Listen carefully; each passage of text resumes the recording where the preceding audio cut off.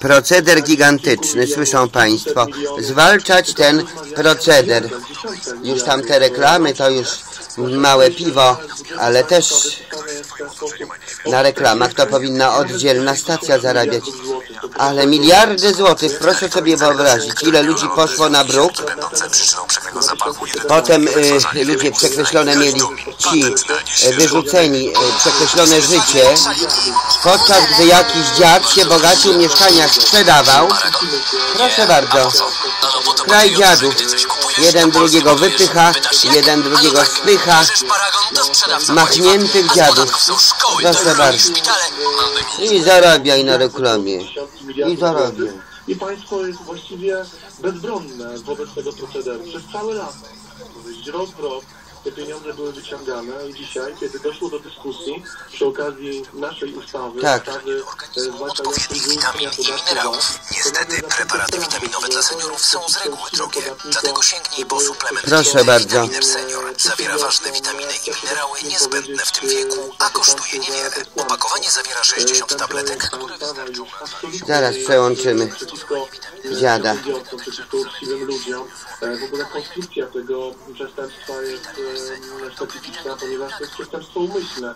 A więc ktoś musi chcieć wyłudzić się pieniądze i to gigantyczne pieniądze, albo co najmniej licząc się z możliwością e, wyłudzenia powinien się na to godzić, a więc zamiar ewentualny, a więc zamiarze bezpośrednim bądź ewentualnym. Ktoś musi chcieć tego, e, więc nie dotyka to ludzi, którzy na przykład pomylą się na fakturze, czy przedsiębiorców, którzy pomylą się. No błądzić jest rzeczą ludzką. Wiadomo, że jak ktoś prowadzi obrót duży, no to zdarzają się takie sytuacje. Tutaj mówimy o bardzo szczególnej, specyficznej konstrukcji wyłudzeniu.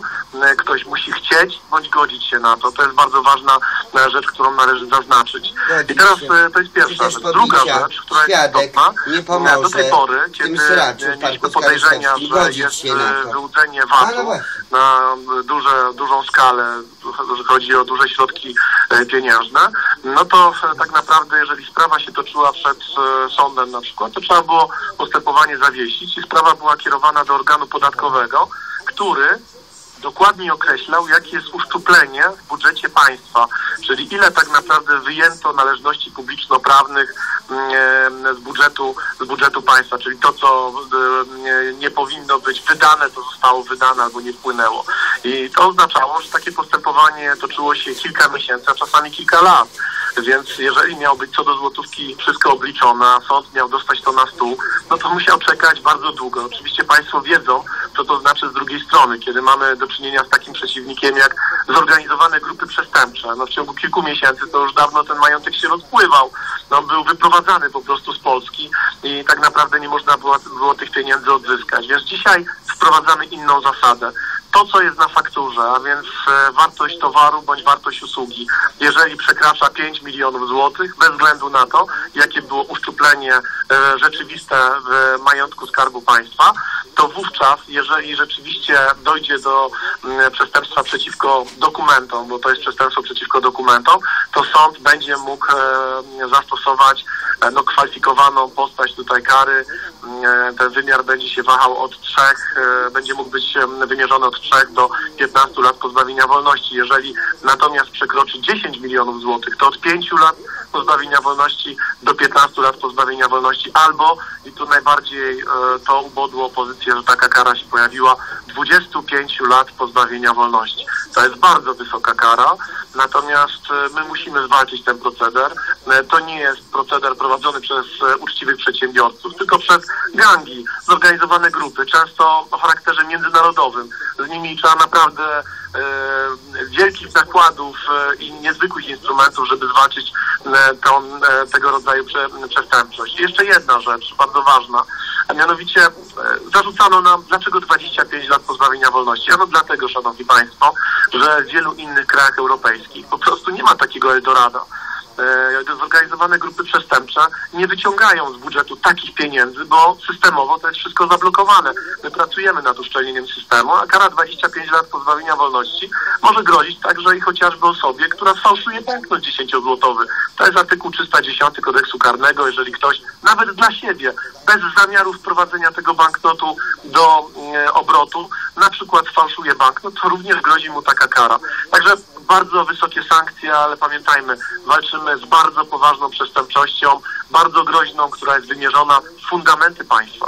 Z jednej strony opozycja to- totalna e, krytykuje mm, e, ten, e, tę nowelizację, ale z drugiej strony też widzimy, jak od 2007 roku, kiedy Platforma Obywatelska wraz z PSL-em doszła do władzy, systematycznie rósł ubytek w, w dochodach państwa na skutek wyłudzania VAT-ów. E, m, W 2007 roku to było 8 miliardów złotych, w 2015 już 53 miliardy, a więc e, praktycznie deficyt budżetowy. Czy jedno z drugim, panie ministrze, też można powiązać, bo e, państwo PO-PSL-u było nieskuteczne w, z tym VAT-owskim Eldorado, jak pan mówi, w walce z tymi wyłudzeniami. Produkowano puste faktury. Budżet państwa na tym cierpiał, czy, czyli budżet na, nasz, nas wszystkich, a z drugiej strony, kiedy próbuje się uszczelnić, e, no to, e, no to mówią, no nie bardzo, może inaczej, może w ogóle. E, I jak pan minister na to patrzy? No, e, to co opozycja dzisiaj prezentuje w czasie chociażby dyskusji nad tym projektem, to jest właściwie to samo, co widzieliśmy przez 8 lat. No, przez 8 lat bardzo ciekawa, ciekawa rzecz. E, e, rósł- Rosła polska gospodarka, czyli był wzrost gospodarczy, a niestety VAT-u nie wpływało tyle należności z VAT-u. No, powinno to być proporcjonalne, a tak nie było. To moim zdaniem e, powinno być sprawdzone, to będzie sprawdzone przez służby, tak sądzę. Chodzi o to właśnie, o czym mówił, o ten proceder, o którym mówił ojciec, te puste faktury VAT-owskie i rzeczywiście wielkie pieniądze wyłudzane. Nie zmieniono e, systemu, e, na przykład kodeks karny skarbowy był głównym instrumentem, do dzisiaj jest jeszcze, walki z przestępcami, no to proszę sobie wyobrazić, tam jest taki artykuł 62 w tym kodeksie karnym skarbowym, gdzie rzeczywiście najpierw trzeba obliczyć, jaka była rzeczywista strata w budżecie państwa, no to jest, to jest pierwsza rzecz, a potem walczono na przykład grzywną, ograniczeniem wolności, e, stawkami grzywny, nie- niewielkimi w sumie, gdzie e, przestępcy wyłudzali na przykład miliony złotych, a za to im groziło kilka do kilkudziesięciu tysięcy złotych kary. No przecież to śmiech na fali. No po prostu, e, przepraszam, ale jeżeli chcemy zbudować silne państwo, to musimy stworzyć zupełnie nowe instrumentarium. A więc już nie kodeks skarbowy, ale kodeks karny. To jest pierwsza rzecz. Sprawa druga, bardzo represyjne prawo. To jest druga rzecz. Trzecia, e, to jest sprawa uszczelnienia systemu. To jest tutaj bardzo ważna administracja podatkowa. To jest niezwykle istotna sprawa. Oczywiście e, też e, uderzamy w tak zwaną solidarność grup przestępczych, bo przewidujemy w, tym, w tej naszej ustawie możliwość stosowania podsłuchów nie tylko procesowych, ale także wcześniej na przykład na poziomie jeszcze postępowań przedsądowych. E, to jest konieczne. Chodzi o rozbijanie właśnie tej solidarności. Mamy do czynienia z karuzelami podatkowymi. Czasami nie wiadomo, gdzie się cały proceder zaczyna, gdzie się kończy, kto jest po, po drodze supem. Czasami ci, którzy są supami, w ogóle nie wiedzą, że są tymi supami. To jest bardzo poważna przestępczość, e, gdzie no tutaj całe państwo musi walczyć. E, Naprawdę bardzo dobrze wyspecjalizowani sędziowie, prokuratorzy, ale muszą mieć także w tle dobre instrumentarium. Dlatego nie kodeks karny skarbowy, a kodeks karny. Mm, No i oczywiście są sytuacje, bo zdarza się, że na przykład to uszczuplenie w majątku państwa będzie znacznie mniejsze niż ta wartość towaru czy usługi, która jest na fakturze, E, więc przewidujemy e, wypadki mniejszej wagi, to jest raz przewidujemy możliwość nadzwyczajnego złagodzenia kary, a nawet możliwość odstąpienia od wymierzenia kary. My uderzamy w solidarność grup przestępczych. I jeszcze raz bardzo wyraźnie chcę na antenie Radia Maryja to podkreślić.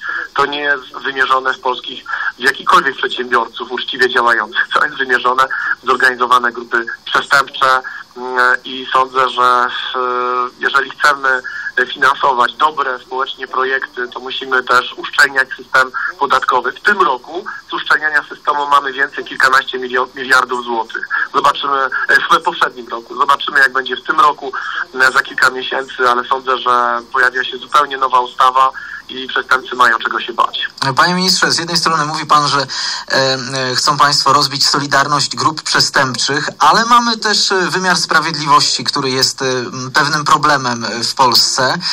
Środowiska sędziowskie no, też są mocno solidarne po to, żeby zachować status quo, żeby, e, cytując, było tak jak było, e, że pozostają w dużej mierze głuche na oczekiwania społeczne. Zresztą wymiar sprawiedliwości przez Polaków jest jest bardzo krytykowany.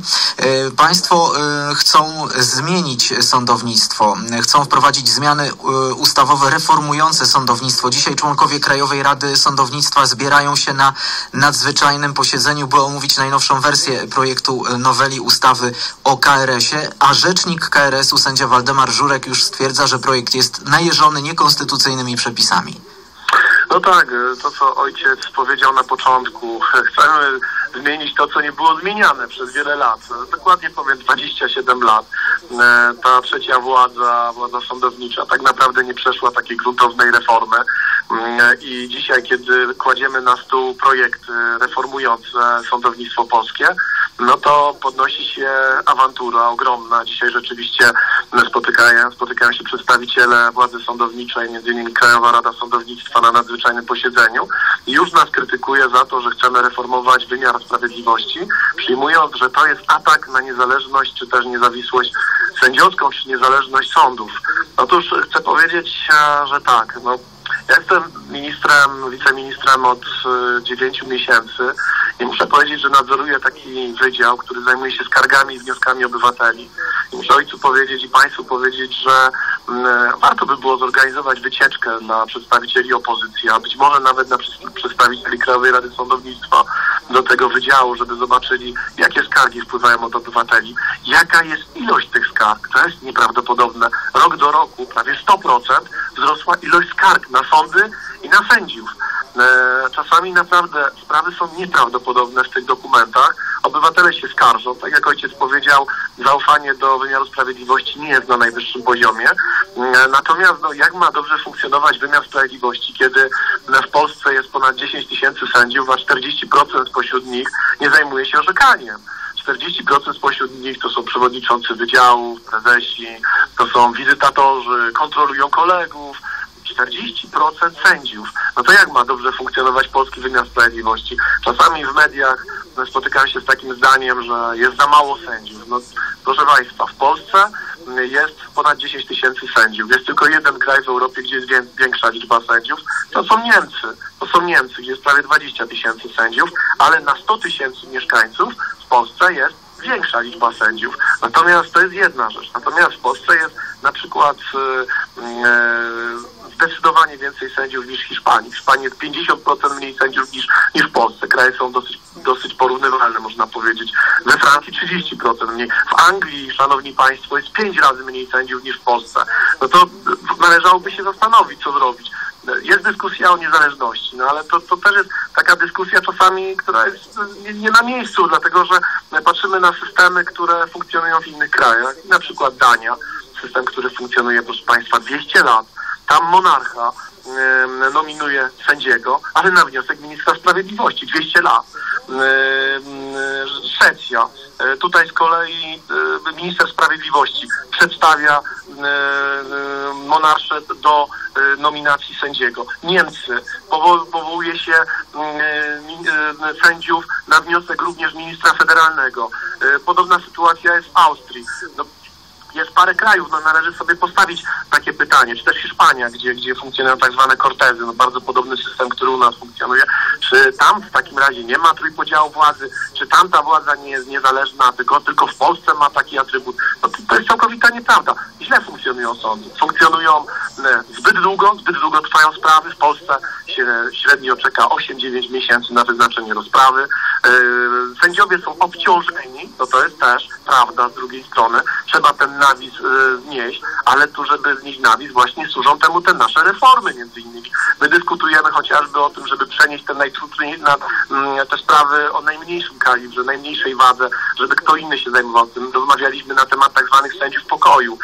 Sędziowie pokoju oni funkcjonowali w okresie II Rzeczpospolitej, w okresie międzywojennym w Polsce, na poziomie sądów grodzkich. Była taka instytucja. Warto rozważyć. W kilku krajach Unii Europejskiej funkcjonuje. No dzisiaj położyliśmy na stół dwa projekty. E, pierwszy o Krajowej Radzie Sądownictwa i drugi o e, Krajowej Szkole Sądownictwa i Prokuratury. Krajowa Rada Sądownictwa, proszę Państwa, ona funkcjonuje w Polsce od 1989 roku i chcę Państwu powiedzieć, że tam jest 70% sędziów, 30% nie sędziów, można powiedzieć także polityków, bo cztery osoby są wybierane przez posłów, dwóch przez senatorów, jest przedstawiciel pana prezydenta, jest minister sprawiedliwości, 25 osób. W każdym razie chcę powiedzieć, że ta Krajowa Rada Sądownictwa powinna również przejść proces demokratyzacji wewnętrznej. Przez 25 lat, proszę sobie wyobrazić, pomimo tego, że powinna być reprezentacja całych, wszystkich sądów powszechnych. Było zaledwie dwóch sędziów sądów rejonowych. No to, to, tak to funkcjonowało. My dzisiaj mówimy inaczej. Trzeba stworzyć dwa zgromadzenia. Jedno tak zwane polityczne, i drugie zgromadzenie, szanowni państwo, e, gdzie będą wybierani sędziowie przez e, parlament. E, więc e, tak jak e, jest przewidziana procedura na przykład do Trybunału Konstytucyjnego, gdzie stowarzyszenia sędziowskie będą przedstawiały swoich kandydato, kandydatów, a następnie przejdzie, no, będziemy przechodzili cały proces przez parlament i następnie będą przedstawiane e, osoby, e, które będą przedstawiane przez zgromadzenie, to drugie zgromadzenie trzeba będzie e, doprowadzić do sytuacji, w której uchwały jednego i drugiego zgromadzenia, więc tego politycznego i tego drugiego sędziowskiego można powiedzieć będą będą takie same. Jeżeli będą sprzeczne uchwały, no to wówczas nie będą przedstawione na przykład kandydatury na sędziów. Będą przedstawiane dwie kandydatury co najmniej, a nie jedna kandydatura, tak jak jest w tej chwili panu prezydentowi. A więc e, ta, to zgromadzenie polityczne będzie i zgromadzenie sędziowskie, ale sędziowskie to znaczy przejdzie pełną procedurę demokratyczną, czyli od stowarzyszeń sędziowskich aż po wybór parlamentu, aż po zgromadzenie to drugie, e, zgromadzenie Krajowej Rady Sądowniczej.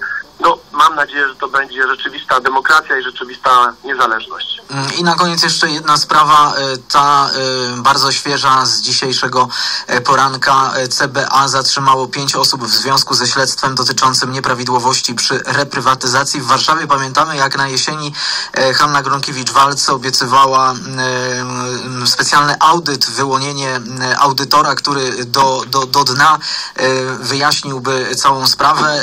Tego audytora nie udało się mm, i, i nie uda się mm, wy, wyłonić.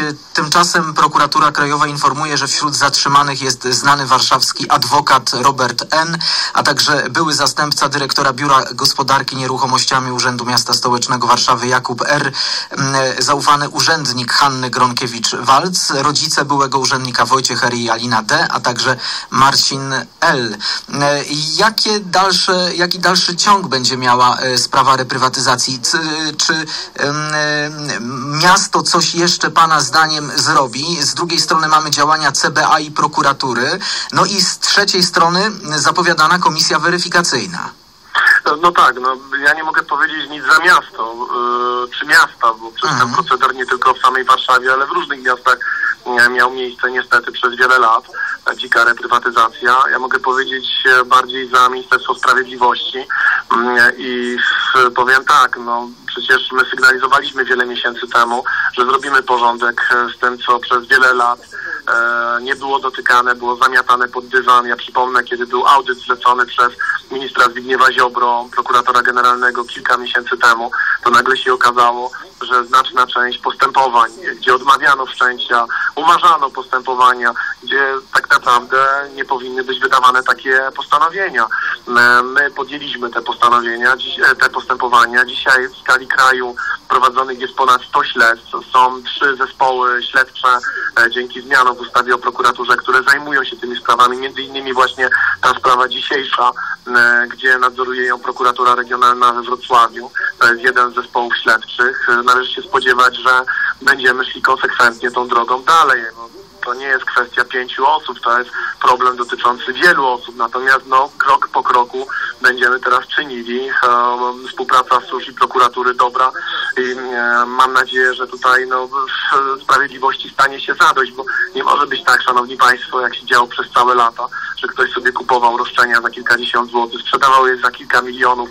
Państwo działało jak działało. No przecież prokuratura w czasach Platformy była tak bardzo niezależna, że w ogóle albo nie podejmowała tych spraw, albo umarzała. Tak jakby problemu nie chciano zauważyć. A to problem dotyczący wielu, wielu ludzi, tysięcy ludzi, którzy byli wyrzu- wyrzucani na bruk. Ojciec powiedział o tym rozwiązaniu systemowym, tak?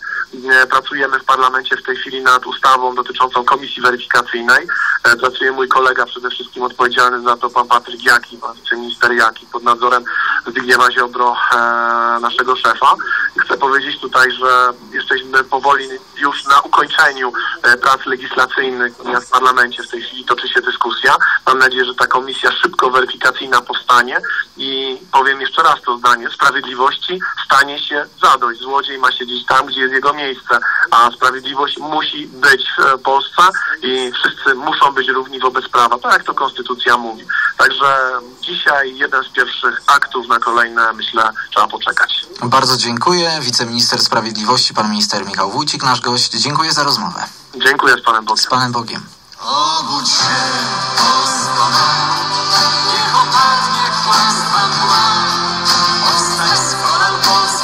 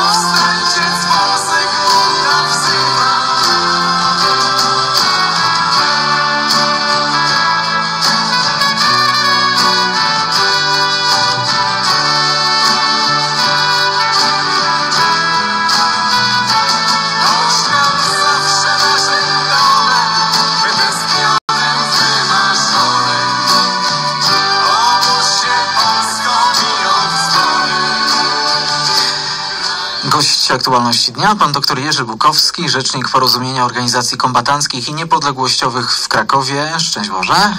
Szczęść Boże, ojcze, szczęść Boże wszystkim słuchaczom. Panie doktorze, krakowski oddział IPN-u upublicznił bazę danych załogi SS niemieckiego obozu KL Auschwitz. Liczy ona około 8,5 tysiąca nazwisk SS-manów pracujących w obozie od czasu jego powstania do likwidacji. W wykazie oprócz nazwisk obozowych funkcjonariuszy znajdują się także inne dane personalne, m.in. data, miejsce urodzenia, wykształcenie i obywatelstwo. E, Ostatnio byliśmy świadkami także mm, e, określeń, które e, fałszują historię i które, co ciekawe, najczęściej pojawiają się właśnie w Niemczech, polskie obozy e, zagłady. Jak pan ocenia ruch, ruch e, IPN-u i, mm, e, no i to, co znajduje się na tej liście nazwisk?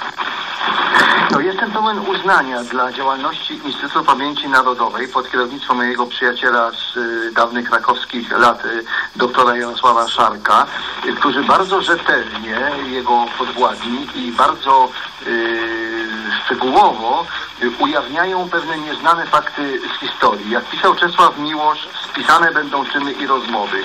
I w tym przypadku to już tylko o to chodzi, bo przecież tych ludzi nie będzie się pociągać do odpowiedzialności karnej, no poza wyjątkami.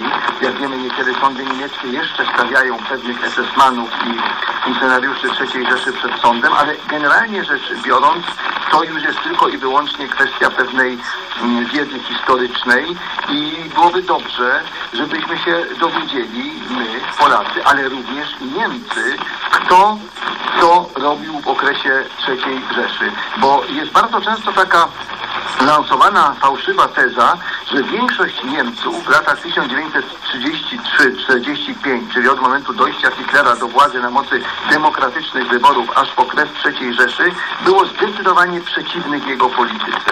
To nieprawda. Zdecydowana większość Niemców wręcz odwrotnie popierała partię y, hitlerowską, NSDAP, popierała podboje hitlerowskie i nie miała nic przeciwko temu, chociaż wtedy ta wiedza jeszcze nie była powszechna, że w imię tej ideologii dokonywano aktów ludobójstwa na Żydach, na Polakach, na Cyganach i na wielu innych y, narodach. To jest bardzo ważnym zadaniem Instytutu Pamięci Narodowej, aby dzisiaj te prawdy w sposób bezemocjonalny, chłodny, rzetelny, zgodny z warsztatem historycznym y, przywoływać i y, publikować. I tak samo, jak ojciec zaznaczył, jest ważną rzeczą, abyśmy mówili wprost i wyraźnie i podkreślali to na całym świecie, we wszystkich mediach, które często używają błędnych określeń polskie obozy śmierci czy zagłady, że były to niemieckie obozy zagłady. Ja mówię to bardzo wyraźnie. Niemieckie a nie nazistowskie, aczkolwiek były i takie, i takie, ale naziści to przecież byli głównie Niemcy. Oczywiście nie wszyscy Niemcy byli nazistami i nie wszyscy naziści byli Niemcami, ale dla nas się jednak to zdecydowanie kojarzy i ja zawsze taki przykładam, przytaczam przykład, że przecież w tramwajach, które jeździły po Warszawie i po innych miastach pod okupacją niemiecką w okresie II wojny światowej, nie było napisów e, Nur für Nazi, tylko Nur für Deutsche. A więc to Niemcy, a nie jacyś dziwni naziści, kosmici wręcz, są odpowiedzialni za zbrodnie popełniane na terenie państw podbitych, a zwłaszcza na terenie Polski, a zwłaszcza na Żydach, których specjalnie mordowano na terenie II Rzeczypospolitej z dwóch powodów. Raz, że było to bardzo wygodnie komunikacyjnie, a po drugie, ponieważ wiadomo było, że przed wojną był antysemityzm ekonomiczny, podkreślam to wyraźnie, ekonomiczny, nie y, polityczny, tylko ekonomiczny w Polsce. W związku z tym można byłoby powiedzieć, że Polacy są współsprawcami Holokaustu. I z tą fałszywą wiedzą, z tym zakłamaniem historycznym w znakomity sposób walczy Instytut Pamięci Narodowej pod kierownictwem pana doktora Jarosława Szarka. E, Panie doktorze, e, a te wszystkie e, enuncjacje prasowe, które pojawiają się, szczególnie w Niemczech, ale, no, ale także i w Wielkiej Brytanii, i w Stanach Zjednoczonych, przecież mieliśmy I mieliśmy w Stanach Zjednoczonych do czynienia, że nawet e, prezydent Obama e, e, to powiedział, szef FBI to powiedział. Czy, czy jesteśmy w stanie przebić się przez tego typu narrację, która no, od dłuższego czasu już występuje w przeróżnych mediach? Co ciekawe także, opozycja radykalna w Polsce krzyczy na Europę Zachodnią, że odradza się w Polsce faszyzm, co wpisywałoby się tak naprawdę w te teorie, które mm, e, wymyślono w dawnym RFN-ie, żeby wybielić Niemcy z mm, odpowiedzialności za II wojnę światową, za Holokaust, za niemieckie obozy śmierci. Poruszyło się kilka bardzo ważnych wątków. Po kolei. To, co mówi dzisiejsza opozycja, rozbita, skłócona i marna, generalnie rzecz biorąc, nie ma większego znaczenia, bo są to generalnie rzecz biorąc ludzie, którzy na temat historii nie mają zielonego pojęcia, co wielokrotnie udowadniał Ryszard Petru, a ostatnio no, to już jest wręcz skandalem, że były prezydent Rzeczypospolitej Polskiej, ale zawodowy historyk Bronisław Komorowski w rozmowie w jednej ze stacji telewizyjnych y, na pytanie o ludobójstwo ukraińskie mówi, ale to było bardzo dawno, czyli to jest nieważne. Więc to jest stosunek dzisiejszej opozycji do naszej historii. Druga kwestia, jaką ojciec poruszył, czy jesteśmy w stanie się przebić. Ja głęboko wierzę, że jesteśmy pod warunkiem, że takim znakomitym inicjatywom społecznym, oddolnym, jak e, Reduta Dobrego Imienia Polska Liga Przeciw Zniesławieniu Macieja Świerskiego, jak Stowarzyszenie e, Pro Patria mecenasa e, Lecha Opary, które prowadzi w imieniu byłego więźnia obozu niemieckiego Auschwitz-Birkenau Karola Tendery sprawę przeciwko stacji telewizyjnej niemieckiej ZDF, która nadała ten słynny serial niesławnej pamięci e, nasi, nasze matki, nasi ojcowie, że tym instytucjom społecznym będzie pomagać polskie państwo, że będą przyjęte odpowiednie ustawy nakazujące karać kłamstwa dotyczące polskich obozów śmierci, że będzie to po prostu ustawowo zabronione. I wiem, że pan minister sprawiedliwości, prokurator generalny Zbigniew Ziobro w zdecydowany sposób na ten temat się wypowiadał, podobnie jak prowadzący w jego imieniu tę sprawę pan wiceminister Patryk Jaki, jeżeli cały majestat polskiego państwa będzie zaangażowany w to, aby reagować na każdy przypadek użycia takiego kłamliwego, haniebnego dla Polski sformułowania polskie obozy koncentracyjne czy polskie obozy śmierci w jakiejkolwiek prasie i innych mediach zachodnioeuropejskich czy amerykańskich, to wtedy odniesiemy sukces. Po trzecie, z tego co ojciec mówił, to co y, powiedział kiedyś prezydent y, Obama czy szef SDI, ja uważam, że to nie jest jakaś z ich strony zła wola, to znaczy chęć obarczenia Polaków współodpowiedzialnością za Holokaust. To jest niestety taka typowo amerykańska, yy, no, kiepska edukacja historyczna. Oni gdzieś usłyszeli polski obóz zagłady, wiedzieli, że jest to niemiecki obóz na terytorium Polski, ale tak mi się to pojęcie niestety błędne wryło w świadomość, że używają go w dalszym ciągu. I w momencie, kiedy polskie ambasady, polskie konsulaty, polskie instytuty kultury, wspomagane przez polskie Ministerstwo Spraw Zagranicznych, Ministerstwo Sprawiedliwości oraz przez ustawy sejmowe, będzie zwalczać tego typu określenia, to wtedy mamy szansę na odniesienie pewnego sukcesu. I mam również nadzieję, że pan minister sprawiedliwości Zbigniew Ziobro zdecyduje się również jakby w drugą stronę zadziałać, to znaczy zdelegalizować, o co od dawna zabiega porozumienie organizacji kombatanckich niepodległościowych w Krakowie, istniejącą nadal w Polsce, to jest rzecz niewiarygodna, ale zarejestrowaną w 2002 czy 2004 roku komunistyczną partię Polski. To jest jakby rewers tej sprawy. Z jednej strony mamy kłamstwa na temat współudziału Polaków w Holokauście, a z drugiej strony w Polsce niepodległej istnieje komunistyczna partia Polski, która chlubi się sierpem i młotem i przynależnością do międzynarodówki komunistycznej. No, my byliśmy jako Polacy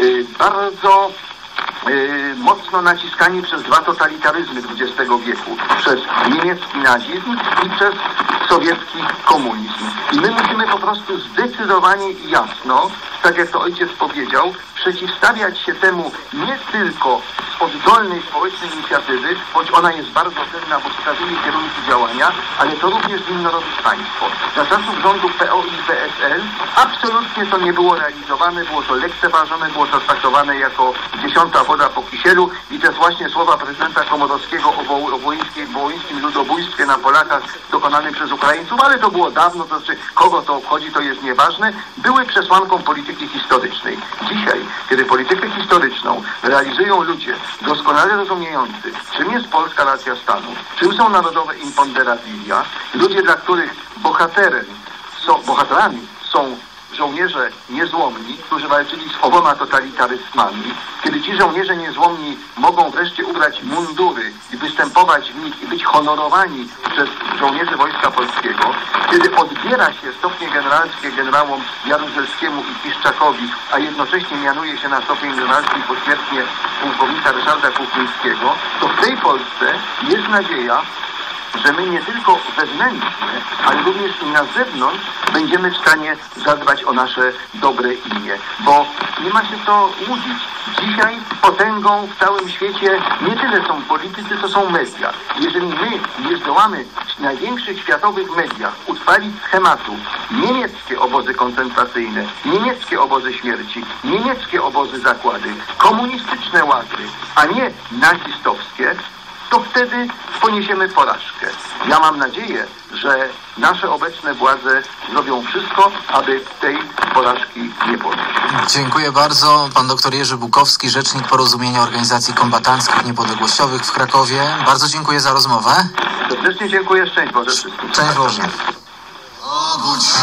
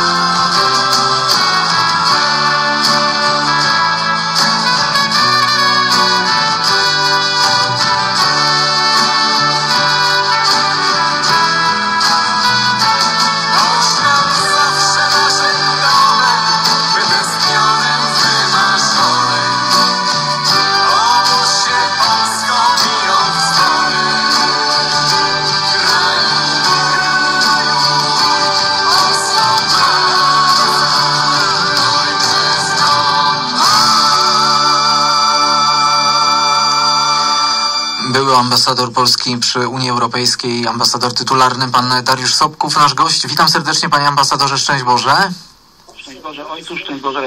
Panie ambasadorze, nowy prezydent Stanów Zjednoczonych Donald Trump podejmuje pierwsze decyzje na świecie. Już okrzyknięty jest rasistą. E, tak pisze między innymi prasa niemiecka. No chodzi między innymi o e, wizy, o zakaz e, wstępu dla niektórych e, imigrantów, którzy no, nawet już znaleźli się czy na lotniskach, czy na na pokładzie linii lotniczych. Tutaj e, Donald Trump jest bardzo zdecydowany. Proszę powiedzieć, jak pan ocenia e, te pierwsze posunięcia Donalda Trumpa, e, pierwsze rozmowy, odwiedziny Teresy May, premiera Wielkiej Brytanii, no ale także telefoniczne rozmowy, które odbywa z poszczególnymi głowami państw czy premierami, jak choćby niedawno także z kanclerz Angelą Merkel. Przede wszystkim trzeba zacząć od tego, że to, co robi pan Donald Trump w ciągu pierwszego tygodnia swojego urzędowania, dlatego że przypomnijmy, ubiegły poniedziałek był pierwszym dniem pracy normalnej, byśmy powiedzieli, po, po zaprzysiężeniu e, 21 stycznia, więc e, pan Donald Trump e, po prostu realizuje to, co obiecał. I to jest jak gdyby wytłumaczenie przede wszystkim jego kroków. Jest to jeden z nielicznych polityków na świecie, który po objęciu władzy robi to, co dokładnie obiecał w czasie kampanii wyborczej. I trzeba tak na ten problem patrzeć. Nie trzeba patrzeć tak, że pan y, Donald Trump, prezydent Stanów Zjednoczonych, y, robi rzeczy kontrowersyjne w oczach y, gazet niemieckich. Na szczęście to nie gazety niemieckie głosowały na pana Donalda Trumpa. On nigdy się o te względy gazet niemieckich nie ubiegał. Y, Na pana Donalda Trumpa głosowali obywatele Stanów Zjednoczonych Ameryki. I ci obywatele wyraźnie powiedzieli, jakiego chcą mieć prezydenta, jakie hasła popierają. Zresztą w czasie kampanii prezydenckiej to jego sztab wyborczy, teraz wychodzą właśnie różne takie ciekawe e, opinie członków sztabu wyborczego. W sztabie wyborczym w kampanii mm, kandydata prezydenta Trumpa było bardzo wielu Amerykanów polskiego pochodzenia. To warto też tą rzecz zaznaczyć. I tam bardzo wyraźnie mówiono, do kogo oni się odwoływali, do jakiego elektoratu, do jakich Amerykanów, do jakich haseł, które były zaniedbane. I okazało się, że takich ludzi jest większość. Że większość ludzi w Stanach Zjednoczonych nie znajdowała swojego kandydata na prezydenta prócz pana Donalda Trumpa. I teraz pan Trump, tak jak mówię, on po prostu realizuje swój program. Jedyny zarzut, w cudzysłowie zarzut, jaki mogą postawić postdemokratyczni e, czy, czy postprawdziwi, jak to się mówi często e, dzisiaj politycy, to jest to, że on tak szybko realizuje swoje obietnice wyborcze, dlatego że my doskonale wiemy, że standardem w Europie, szczególnie w Europie Zachodniej, jest to, że po, po dojściu do władzy nie realizuje się swoich obietnic wyborczych, a już na pewno nie tak szybko. Tutaj zwracam uwagę na rzecz bardzo ciekawą, że ten nurt, nazwijmy to, otrzeźwienia y, klasy politycznej i powrotu do klasycznej demokracji, on po raz pierwszy w XXI wieku zaczął się w Europie Wschodniej, a mianowicie w Warszawie i w Budapeszcie. W zależności od tego, jakie kryterium przyjdziemy, można powiedzieć, w Budapeszcie i Warszawie, ale raczej w Warszawie 2005 rok. Też nikt nie stawiał na zwycięzców, którzy odwoływali się do haseł niepopularnych. Później pan Orban, później znowu y, rządy kandydatów Prawa y, i Sprawiedliwości. I przypomnijmy hasło prezydenta Dudy, który mówił, że jeżeli w ciągu pierwszych lat nie wykonam swoich haseł wyborczych, to podaje się do dymisji. I przecież myśmy mieli od razu po dojściu PiSu do władzy y, wyjście z hasłem 500+, plus, teraz mieszkanie plus, różnego typu y, podstawowe obniżenie wieku emerytalnego, rzeczy, które powiedzmy sobie szczerze, inne rządy by nie realizowały. W przypadku rządu PO, ja przepraszam, muszę o tym powiedzieć, zanim wytłumaczymy, co się dzieje w Ameryce, bo to jest ważne dla zrozumienia mechanizmu, gdyż mechanizmy w Ameryce są takie same jak w Polsce, z grubsza rzecz biorąc i łatwiej je wtedy zrozumieć. PO nie, nic nie mówiła o mm, wieku emerytalnym, natomiast jak wygrała wybory, natomiast jak wygrała wybory w roku y, 2000 y, 2010, to co zrobiła y, Platforma, to oczywiście obniżyła wiek emerytalny w 2011. Obniżyła wiek, y, przepraszam, podwyższyła. Platforma podwyższyła wiek emerytalny, chociaż nic w czasie kampanii wyborczej nie mówiono. PiS obiecał obniżyć i obniżył. I teraz nikt nie może mieć pretensji dzisiaj do Prawa i Sprawiedliwości, nikt nie może mieć pretensji do Donalda Trumpa, że realizują program, który obiecali. Natomiast kto się obraża? ci, którzy żyli z łamania obietnic, ci, którzy nauczyli się żyć z tej, nazwijmy to, zmanipulowanej mniejszości społecznej, która była zmobilizowana, bo żyła z tego. I to, co widzimy dzisiaj w Stanach Zjednoczonych, te manifestacje nieduże, bo to jest 5 tysięcy osób. Jak na Stany Zjednoczone to jest nic y, w, Waszyngtonie manifestacja 5 tysięcy osób. To, to żywcem przypomina manifestacje kodu w Polsce i tak dalej. Można powiedzieć, że to tyle, jeśli idzie o wytłumaczenie mechanizmu. Natomiast szczegóły są o wiele bardziej ciekawsze i pikantne. Wprowadzenie zakazu dla takich państw, obywateli takich państw przy, przylotów do Ameryki jak Syria, Liban, Irak, Iran, Jemen, Sudan i Somalia wskazuje wyraźnie, że są to właśnie kraje o większości muzułmańskiej, kraje, gdzie wrze wojna. I teraz Donald Ameryka y, ustami i, i decyzjami podpisanymi przez y, Donalda Trumpa po prostu broni się przed przelewem tej wojny na, swój, na swoje terytorium. Czy my musimy tłumaczyć, że terroryści pochodzą często z tych krajów, że fali emigrantów są, tylko że Europa nie ma dzisiaj instrumentów y, radykalnych i zdecydowanych, bo jest uwikłana w procedury unijne, takie jak ma Ameryka, która jest państwem unitarnym i prezydent może szybko podjąć taką decyzję i uwaga, wprowadzić ją w trybie natychmiastowym. W Europie byłoby to absolutnie niemożliwe. Więc prezydent podejmuje tę decyzję w obronie swojego kraju. Natomiast chciałbym zwrócić uwagę na jedną bardzo ciekawą rzecz. Jednak wiąże to, co się dzieje w Ameryce z tym, co się dzieje w Polsce. Otóż dzisiaj bardzo ciekawa konferencja prasowa ministra spraw wewnętrznych pana Mariusza Błaszczaka, który powiedział, że będą wzmocnione procedury deportacji nielegalnych emigrantów, którzy przybywają na teren Polski. Informacja, że y, ym, podejrzany o zabójstwo y, z Ełku imigrant powinien być deportowany. Być może nie doszłoby do tego zabójstwa w Polsce, gdyby natychmiast deportowano tego człowieka. Więc po prostu powiedzmy sobie szczerze, że Polska też stara się y, skorzystać z tego, że jest y, dzisiaj oczywista kwestia, że jest zbyt dużo emigrantów przybywających nielegalnie na tereny poszczególnych krajów, po to, żeby tworzyć często tam struktury oczywiście terrorystyczne. Teraz z pewnymi zastrzeżeniami. Nie można wrzucać wszystkiego do jednego wora. Tego samego dnia, gdy wydano w Stanach Zjednoczonych y, dekret pana y, prezydenta o zakazie wjazdu z tych krajów wymienionych, poinformowano, że będą oddzielne procedury dla osób, które się jednak ubiegają i mają ku temu powody, żeby się tam znaleźć w Stanach Zjednoczonych. I zaznaczono, że taką grupą uprzywilejowaną będą chrześcijanie z Syrii. To było wyraźnie powiedziane. Uchodźcy chrześcijańscy będą y, traktowani w sposób uprzywilejowany. No więc powiedzmy sobie szczerze, nie można tu zarzucić jakiegoś działania takiego, byśmy powiedzieli, bez, bez niuansów. Inna rzecz.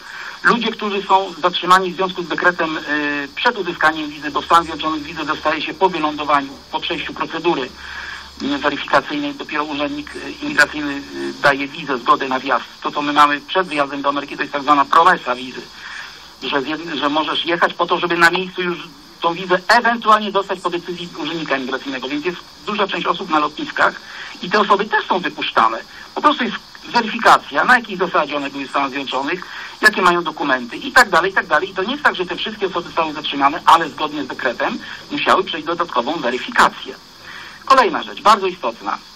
Czy ktoś y, zakłada, że ta decyzja była podjęta bez konsultacji ze służbami wywiadowczymi Stanów Zjednoczonych? Takiej osoby nie ma, nikt o tym nawet nie mówi, nawet najbardziej nieprzychylne prezydentowi Trumpowi stacje tego nie twierdzą, bo wiadomo, że on musiał się skonsultować ze służbami y, specjalnymi wywiadowczymi przed podjęciem tej decyzji. Widać to było uzasadnione, co zrobił. Y, I oczywiście tutaj dodajmy jeszcze jedną rzecz, że są niektóre radiostacje telewizyjne, nie chcę robić, nie chcę wskazywać palcem, ale to bardzo łatwo, jak ktoś śledzi zachodnie, szczególnie amerykańskie media, które zachowują się przynajmniej tak samo albo jeszcze gorzej, jak niektóre stacje prywatne telewizyjne, które dzień w dzień atakują y, rząd Prawa i Sprawiedliwości. Także niestety mechanizmy są podobne. To, że myśmy się w nie wpisali, to tylko chwała dla nas, żeby prędzej nad, jak gdyby nadepnęliśmy na stopę, na, na odcisk temu międzynarodowemu, jak widać, establishmentowi. I są to te same stacje telewizyjne, które atakują rząd, prezydenta polskiego, panią premier. Te same stacje amerykańskie teraz y, y, krytykują Donalda Trumpa. Więc tak to w ogólnym skrócie. Natomiast prawdziwa ofensywa dyplomatyczna amerykańska trwa od pierwszego dnia. Te rozmowy telefoniczne, które Donald Trump po kilka dziennie odbywa z głowami państw, wczoraj y, odbył i przedwczoraj, ten weekend był bardzo pracowity dla pana Donalda Trumpa, odbył y, rozmowy z sześcioma y, szefami państw. Australia, Francja, y, Niemcy, Rosja, Meksyk. Y, To, powodzi, to pokazuje po prostu siłę tego państwa. Nikt temu człowiekowi nie odmawia y, współpracy. co najwyżej negocjują warunki współpracy. Pan Donald Trump powiedział, że jeśli prezydent Meksyku chce przyjechać na wizytę Waszyngtonu, to musi zdeklarować, że zapłaci za ten mur między Meksykiem a amerykańskimi. No tutaj wyszedł z niego twardy negocjator. Ja myślę, że z tego ustąpi, tak mi się wydaje czasem. Tak czy inaczej mur będzie stawiany, już chyba zaczął y, być budowany. Zresztą a propos muru przypomnijmy, że pierwszą decyzję o postawieniu muru podjął kiedyś prezydent Clinton. I mówił o tym w czasie swojej kampanii już kilkanaście lat temu, czy nawet więcej. Clinton to jest 20 lat temu kampania, więc, więc dlaczego oskarżamy dzisiaj pana Donalda Trumpa o to, że realizuje to, co inni obiecywali? Tylko różnica między panem Clintonem a Trumpem jest taka, że Clinton tylko mówił o tym, a pan Trump to robi. I za to go, tak jak mówiłem y, przed chwilą, właśnie y, się krytykuje. No i jeszcze jedno tylko zdanie, może bardzo takie istotne. Y, Ten sojusz, taki strategiczny sojusz, czy też może powrót do tego sojuszu brytyjsko-amerykańskiego, anglosaski sojusz, jest nawiązanie do słynnej karty atlantyckiej, do, do tego, co Churchill robił w tej sprawie. Myślę, że tutaj to jest ogromna szansa oczywiście dla Wielkiej Brytanii. Jest to mm, wzmocnienie pozycji brytyjskiej w czasie Brexitu. Nikt nie ma wątpliwości co do tego, że to zaproszenie Donalda Trumpa do strategicznego sojuszu, sojuszu handlowego, utworzenie wspólnej strefy wolnej od cła między Stanami Zjednoczonymi a Wielką Brytanią, no jest to ogromny atut przetargowy w negocjacjach dla rządu brytyjskiego w czasie Brexitu. Także myślę, że... Proszę. Bardzo dziękuję panie y, ambasadorze za ten y, komentarz. Oczywiście y, prezydent Trump rozpoczyna swoją prezydenturę i to już rozpoczął ją na dobre, y, z takim przytupem y, powiedzielibyśmy, ale to nie ostatni krok, który, który czeka jego, no i także nas w całej tej geopolitycznej układance, w którą wchodzi jako twardy, twardy polityk, twardy przywódca supermocarstwa, jakim są wciąż Stany Zjednoczone. Tak. Dziękuję bardzo. To ja dziękuję ojcu, dziękuję radiosłuchaczom za uwagę. Naszym gościem był były ambasador tytularny Polski przy Unii Europejskiej, pan Dariusz Sobków. Są trzy minuty po 14, za chwilę wiadomości.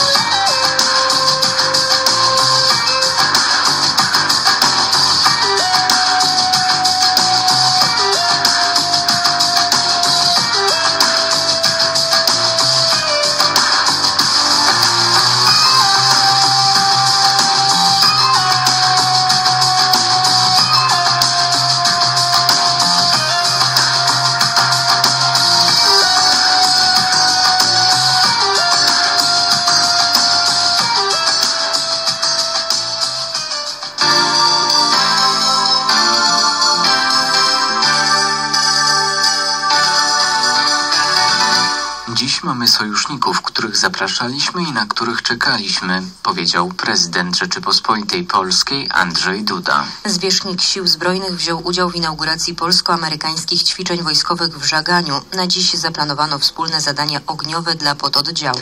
Prezydent Polski, witając sojusznicze wojska, podkreślił, że jest to chwila dziejowa. Przypomniał, że jeszcze niedawno w Żaganiu stacjonowały obce jednostki. przez dziesiątki lat, no nie tak bardzo dawna, bo niecałych 30 lat temu, tu w Żaganiu stacjonowały jednostki armii, którą kazano nam wtedy uważać za sojuszniczą, a której do Polski nie zapraszaliśmy, zwłaszcza nie zapraszaliśmy, żeby tu została i czuliśmy się zniewoleni. Dziś przyjechali nasi sojusznicy, będący symbolem wolności i porządku na świecie, a przede wszystkim bezpieczeństwa. Sojusznicy, których zapraszaliśmy i na których czekaliśmy. Jako przedstawiciele narodu, jako przedstawiciele Polaków, wielkiej tradycji militarnej polskiego oręża, witamy z wielką radością naszych amerykańskich sojuszników. Pododdziały trzeciej Pancernej Brygadowej Grupy Bojowej z czwartej Dywizji Piechoty przybyły z Colorado do Polski i innych krajów regionu w ramach wzmocnienia wschodnich obrzeży NATO. Około 3,5 tysiąca amerykańskich żołnierzy rozpoczęło pierwszą dziewięciomiesięczną zmianę w ramach stałej rotacyjnej obecności. Amerykańska Brygada Pancerna została rozlokowana w Polsce w Żaganiu, Świętoszowie, Bolesławcu i Skwierzynie. Od lutego jej pododdziały przemieszczą się do innych państw, by ćwiczyć z europejskimi sojusznikami. Śledztwo w sprawie dzikiej reprywatyzacji nareszcie rusza we właściwym kierunku i nabiera tempa, ocenił poseł Andrzej Melak. Polityk, który był radnym miasta stołecznego Warszawy, odniósł się do zatrzymania przez CBA pięciu osób w związku z reprywatyzacją w stolicy. Wśród zatrzymanych jest znany warszawski adwokat Robert N., były zastępca dyrektora Biura Gospodarki Nieruchomościami Urzędu Miasta Stołecznego Warszawy Jakub R., rodzice byłego urzędnika Wojciech R. i Alina D., a także Marcin L. Wszystkie osoby mają być przesłuchane w prokuraturze regionalnej we Wrocławiu. Zatrzymani usłyszą zarzuty m.in. o charakterze korupcyjnym. Poseł Andrzej Melak mówi wręcz o strukturach mafijnych. To była jedna wielka rodzina mafijna.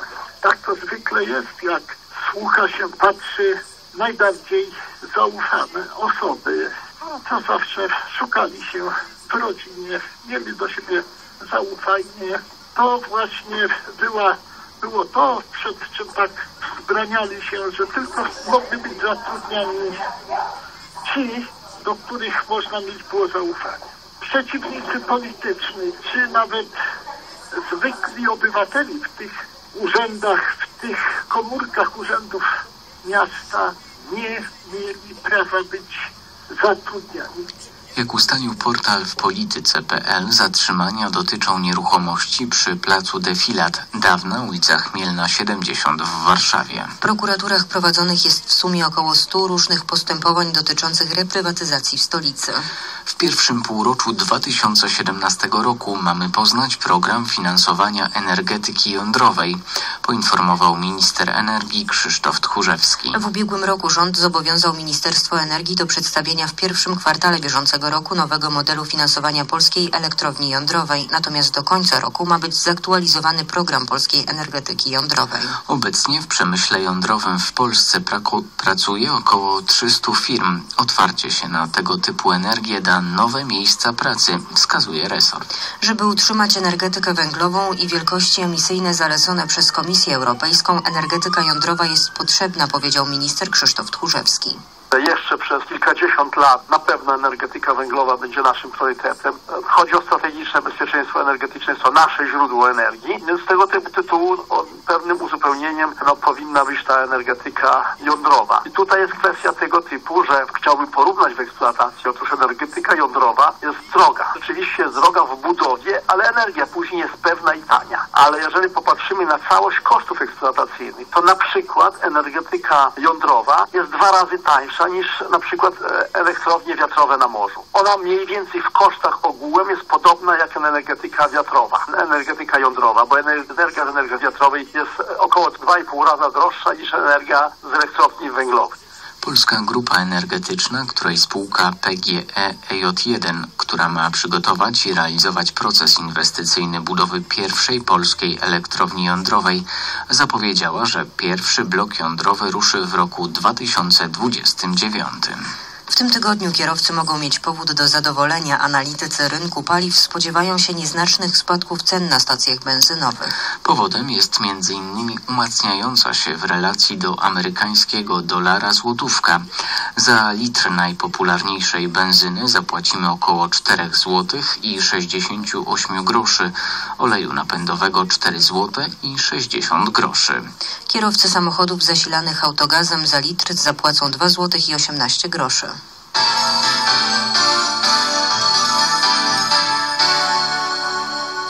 Około miliona podpisów złożono już pod petycją przeciwko wizycie państwowej prezydenta Stanów Zjednoczonych Donalda Trumpa w Wielkiej Brytanii. Ma do niej dojść w 2017 roku. Wizyta państwowa oznacza spotkanie z królową Elżbietą II. Petycja głosi, że prezydent Stanów Zjednoczonych należy wpuścić do Zjednoczonego Królestwa jako szefa władzy wykonawczej. Krytycy Trumpa wskazują, że nie powinien być zapraszany do składania wizyty państwowej, gdyż byłoby to żenujące dla królowej. W petycji wskazano na wulgarność Trumpa. Agencja Associated Press napisała, że o odwołanie wizyty państwowej Trumpa zaapelowały też trzy brytyjskie partie opozycyjne. Zgodnie z brytyjskimi przepisami wszystkie petycje, pod którymi znajdzie się ponad 10 tysięcy podpisów, powinny otrzymać oficjalną odpowiedź od rządu, a te, które uzyskają poparcie ponad 100 tysięcy osób, powinny być przedmiotem debaty parlamentarnej. I tą informacją kończymy wiadomości w Radiu Maryja.